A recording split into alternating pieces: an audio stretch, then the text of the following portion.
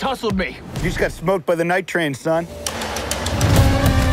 Slow down, girl. Can't hear ya. I'm behind on bills. I can't afford legal meds. There's a cartel that's trafficking black market medical supplies to Vegas. Thank you. That's where you come in. Looks like I'm going on a wild goose chase. All the local pilots are freaking out right now. If I can't get supplies to Vegas, everything stops. I have a proposal for you. You're suggesting you run my contraband up the highway. I'll get your medication to Vegas, and I will make planes look slow in the process. Assume everyone you meet over the next 24 hours is armed. There is a three hour window to move everything.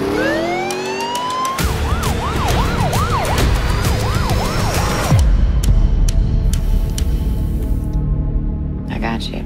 If you'd got me, you'd be arresting me right now. To handle a problem like you, I just need a revolver and a bullet. It's always harder to hit a moving target, so catch me if you can.